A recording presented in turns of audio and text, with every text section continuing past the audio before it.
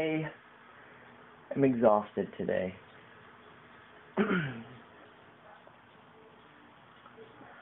I stayed up on Blog TV till about 1 in the morning. I didn't even know there was a Blog TV going on, so I normally get an update, and I wasn't looking at my phone, and I realized after laying down in bed last night that Hellmouth was doing a Blog TV. I'm glad I went. It was awesome, but I'm so exhausted. Didn't think I would actually do a project today, but I did. Um, and here it is now. So I'll go ahead and play my little project that I did today. It literally took no time at all. Uh, spur of the moment, didn't plan on making it, just was still trying to clean the garage a little bit and found a hatchet and decided to make one. So, roll that footage. Hello everybody. Okay, I've never really thought about doing this kind of stuff before, but I thought I would, you know, see how easy it is since you can make just about anything out of foam. Um, I actually have this real hatchet here. Don't ask me where I got that. I have not killed anyone with it. Basically, I just traced a piece of foam and then cut it out with my hot wire foam factory tool to be, you know, pretty similar in shape. I had this um, wooden dowel already. I had a uh, piece of foam, cut it out with my hot wire foam factory thing so this fits in it like that. And then I could round that off to be pretty similar to the hatchet. I mean, it's a little bigger, but that's fine. Bigger is better. And, you know, I could wrap like electrical tape around this. And I have some rust paint for this thing. But I can take some wire hangers and push through there to make that to support that. And then I could cover it with um, liquid latex, a couple, two or three coats of liquid latex to protect this foam, and add a little bit of wire through the middle of there. Um, and then I could electrical tape that thing on there too, and then I could do like that rust coating. Anyway, we'll see how it turns out. Uh, I've never really thought about making some junk like that, but there it is. Pretty simple. Okay, so here's what I have so far. The styrofoam is around this base. I just covered it with electrical tape. You know, carved it to where it's generally the shape of the other one. Said, it's a little longer. I uh, cut a hole in the foam on the bottom. Give it to, I'm going to probably Gorilla Glue it in there. Add some wire to strengthen this foam. I mean, they're not really going to hit anybody with it, so I guess, you know, just the person holding it, um, I guess they do break it. It only took me like five minutes so far to work on this, so anyway, it's pretty cool. Side by side comparison there. I guess I could cut this um, here to make it the same size. I mean, if you guys think that it needs to be, I don't know, that size. This looks more like a tomahawk, I guess. Yeah, I'm going to cut it. I'm going to cut this off. Okay. Okay, like 10 seconds later, actually. there.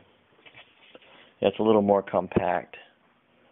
Like a, it looked a little bit like a tomahawk before, so now it's like a little axe.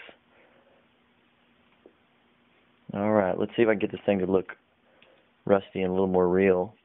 Um, fix the end a little bit more, add the wire to it. Cool. Okay, so I did the foam as I'm sanding it, it broke. So what I decided to do was just cut some paper template and put on either side of the foam to strengthen it up. I'll glue that all together, and that actually should be pretty strong. Okay, so I glued the cardboard outer shell onto the foam. And I have it taped right now so it can dry. Um, I may just leave the tape on there and then just put the latex right on top of that. Um, I mean, it's going to have a rust coat over the top of it anyway, so it's not really going to matter. The latex will keep it all together. So, anyways, looks pretty cool. It's really light. Wouldn't really hurt anybody. Not like this one. cool. Not that it has to be in a hot, dark, haunted house. Um, very realistic, but if you look closely, you can still see some of the silver metallic through the rust. Um, there's still lots of silver showing through. So, I actually have some silver spray paint. So I'm going to spray paint this bad boy silver first. Alright guys, I got a little carried away. Didn't really show you guys the next few steps. Um, particularly the paint job. But, there's the finished axe. I'm just kidding. there's the finished axe. So, real, fake. Real fake. Get it? So real, fake, foam, and cardboard. So we can get a good shot of this thing. So it's got the rusted appearance, weathered for sure. It's still got a little of the metallic showing through. Um, basically, all I did was I did a coat of brown, dark brown first. Then I did, well, sorry, back up. I did a coat of silver first, all over the whole thing. To protect the foam from melting, I did put brown latex on the exposed foam and then sprayed this so it didn't dissolve it. Then then I sponge coated brown over the silver.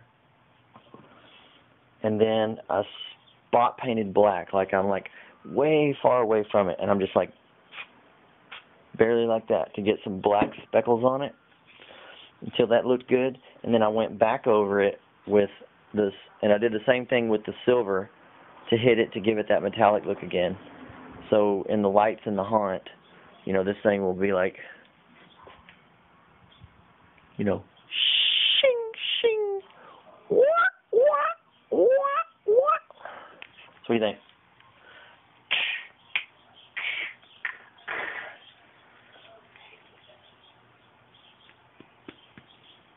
No hurdy. So, there is my completed fake hatchet. I mean, that really took no time at all and free. It cost free. It cost absolutely free. I had the foam, the little wooden dowel, some electrical tape, some foam, some scraps of cardboard out of the freaking trash. I went and dug it out, and then spray paint I had in my pantry. So now one of my actors can have a, a hatchet that looks pretty dang real. I think that turned out pretty damn good. That's crazy. I didn't even know I could do that. Um, I guess watching the uh, watching all the um, Midwest or not Midwest, West Coast haunt conventions and HauntCon and all that, seeing those uh, fake weapons. Sorry, I'm picking paint off of my hand. Seeing all those fake weapons, and then actually went to a couple of those websites. Uh, I'm like, you know what? I'd like to have some of those realistic looking fake weapons in my haunt. And uh, oh my god, like basically this, like what I just made for zero dollars. That looks, I think, pretty damn good.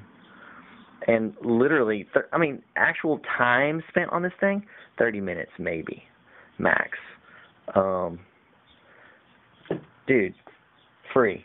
And on the website, those uh, hatchets and sledgehammers and all that kind of stuff, like $85. Um, now they're hard, rigid foam.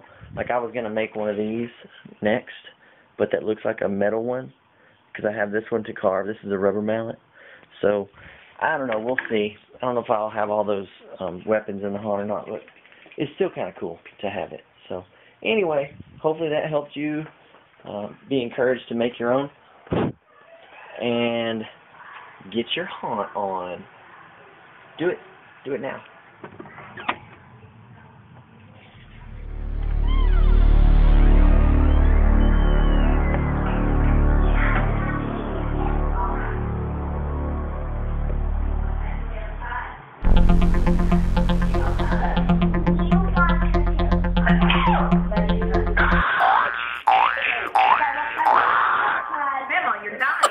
you're supposed to die. Okay, she's dead. Except for knows how to stop still. That's not no good. I ruined it. at like probably 7 p.m. Pacific Standard Time. Okie dokie. Sorry, Jesse, I gotta go, man. I got to. I have to vlog. Hey, I'm vlogging here. Alright. Well, I will see all you guys later. Alright. Well, I will see all you guys Oh, later. sorry, Christy. Wow. See, you're saving this, saving it for the end. all right, all right, everybody. Thank you so much for joining. Um, I want to get out of here. So, Scott, thank you for co-hosting, man. You rock. Alright. And uh, yeah, we will Alright. chat at you guys later. Vlog should be up like probably one o'clock, two o'clock my time.